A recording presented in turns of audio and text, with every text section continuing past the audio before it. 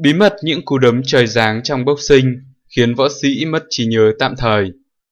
Những chấn thương liên quan đến não bộ, đặc biệt là chấn động não, là một vấn đề nhức nhối nhưng lại ít được đề cập trong thể thao đối kháng.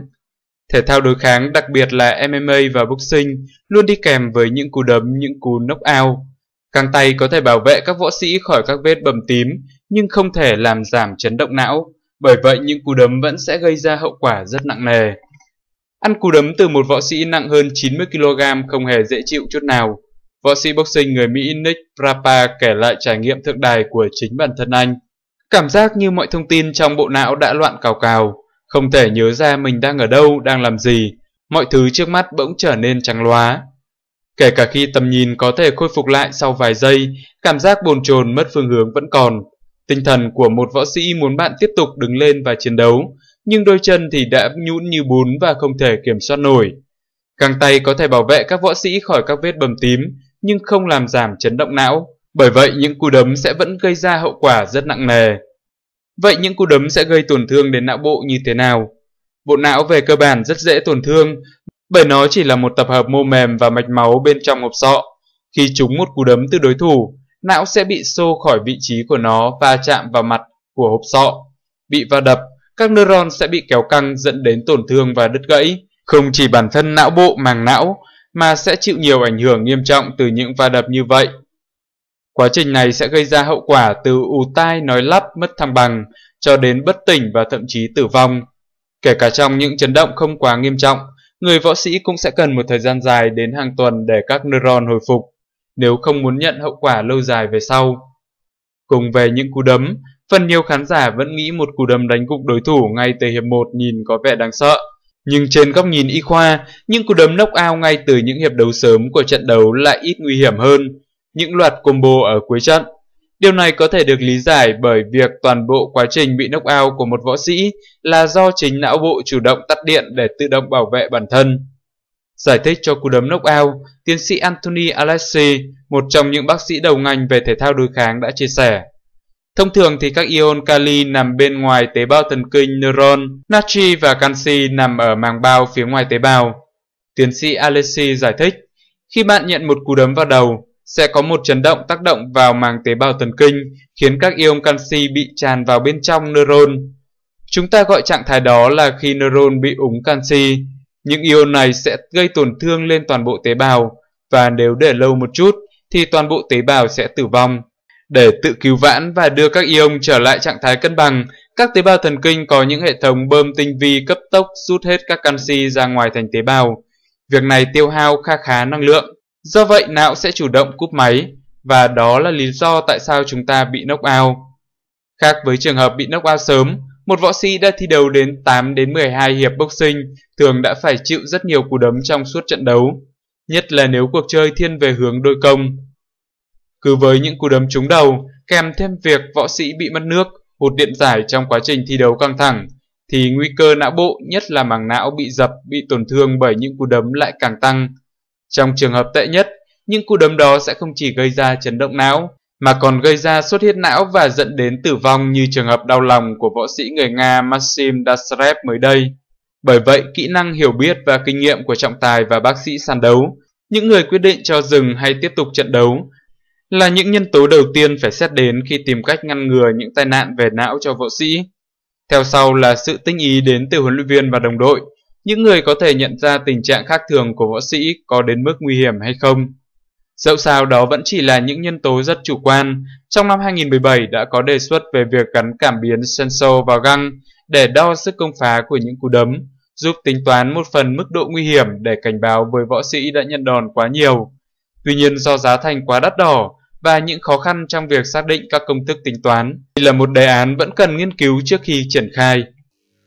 Các bạn hãy đăng ký kênh YouTube của Tri thức vô tận để đón xem các clip tiếp theo.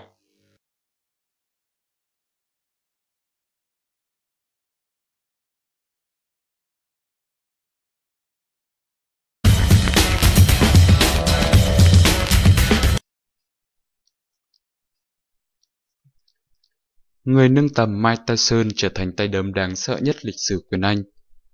Và cũng nhờ Bobby Sturwood, cuộc đời của Mike sang trang mới khi được gặp huấn luyện viên huyền thoại Cus de Amato vào năm 1980, khi anh sắp tròn 15 tuổi.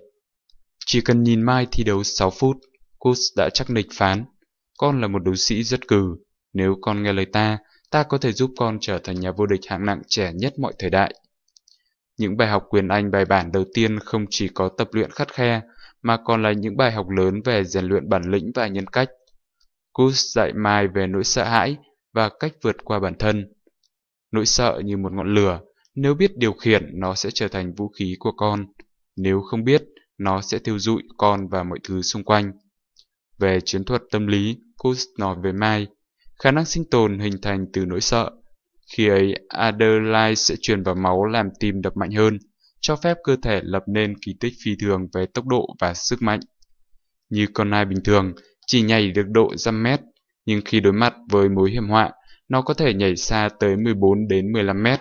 Con người cũng vậy thôi, nỗi sợ hãi sẽ khiến con người mạnh hơn. Ông cũng nói về sự khác biệt giữa một người hùng và một tên hèn nhát. Họ chẳng khác biệt gì về cảm xúc, họ cũng sợ hãi như sau. họ cũng sợ hãi như nhau, khác nhau là họ phản ứng trước nỗi sợ hãi ấy như thế nào mà thôi. Người hùng và tên hèn nhát đều cảm nhận nỗi sợ hãi như nhau, nhưng con phải có kỷ luật để hành xử như một anh hùng, và khước từ phản ứng của một kẻ hèn nhát. Sự mệt mỏi khi tượng đài có đến 90% là do tâm lý mà ra. Bọn hèn chỉ vin vào đó để đầu hàng. Cái đêm trước khi thi đấu, con sẽ mất ngủ. Đừng lo, vì đối thủ của con cũng vậy. Coach dạy Mai để trở thành một đấu sĩ vĩ đại, phải biết thoát bỏ gánh nặng tâm lý, vượt qua giới hạn, tập trung thư giãn cho đến khi nào con nhìn thấy chính mình từ bên ngoài. Khi nào con đạt đến cảnh giới ấy, hãy cho ta biết. Sau thời gian hoàn thành cải tạo, Coach sợ Mai phải về lại khu ổ chuột ở Bosville và tiếp tục con đường cũ. Ông quyết định nhận nuôi Mai và đưa anh đến sống chung cùng vợ chồng ông. Coach không chỉ là một người thầy, mà còn là một người cha tinh thần của Mai, người giúp anh hình thành nhân cách và phẩm chất của một võ sĩ quyền Anh những năm đầu đời. Tháng 5 năm 1981, Coops đưa cậu bé Mai 15 tuổi đi dự giải đấu vô địch đầu tiên trong đời, giải trẻ Olympic, và những chuỗi ngày chiến thắng giòn giã bắt đầu, từ vòng loại địa phương rồi khu vực, và cuối cùng là tranh giải toàn quốc. Mai thắng tất cả mọi trận đấu bằng knockout ngay từ hiệp 1.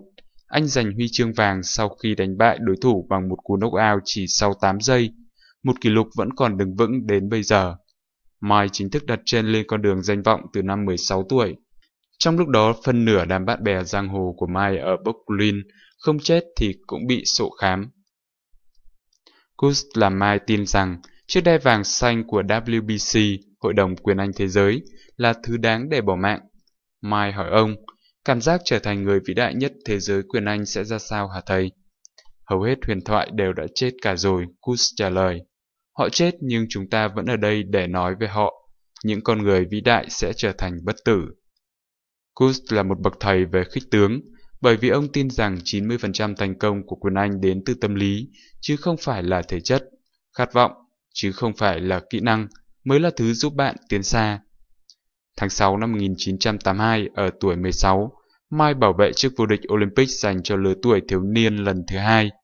Tên tuổi anh nổi như cồn, bố mẹ các võ sĩ xin rút tên con mình vì sợ chúng phải thi đấu với Mai. Thậm chí Mai từng lập thành tích với 8 trận toàn thắng đều nhờ knockout. Trong giai đoạn đón nhận những thăng hoa nhờ bách chiến bách thắng ấy, Mai phải đối mặt với những mất mát và những cú sốc liên tiếp. Đầu tiên là việc người mẹ chết vì ung thư, sau đó là cái chết của bà Kim, thằng bạn nối khố. Kẻ dẫn dắt Mai vào con đường tội phạm, và từng khuyên anh đừng bao giờ quay về khu phố Brownsville nữa. Và cú sốc lớn nhất sau đó là Kurt, người thầy, người cha tinh thần qua đời. Sự mất mát đó đồng thời cũng là động lực để Mai báo đáp công ơn của Kurt. Tôi phải làm mọi thứ để thành di sản bất tử của ông. Ngày 22 tháng 11 năm 1986, ở tuổi 20, Mai trở thành nhà vô địch quyền Anh hạng nặng trẻ tuổi nhất trong lịch sử. Bình luận viên gọi chiến thắng của Mai là bước vào kỷ nguyên của bộ môn quyền Anh. Những chiến thắng dễ dàng và những lời tung hô của truyền thông đã khiến Mai bắt đầu trao đảo khi không còn một người thầy lớn như Kus bên cạnh dạy dỗ. Tôi rất kiêu ngạo, nhưng đồng thời cũng cảm nhận được thời gian bước lên đỉnh cao của mình đã đến. Trong đầu óc bệnh hoạn của mình, tôi bắt đầu vẽ lên quang cảnh ấy, Từ trên cao, các võ sĩ vĩ đại và những chiến thần đang dõi theo trong lúc tôi vươn tới tầm cao của họ. Các bạn hãy đăng ký kênh youtube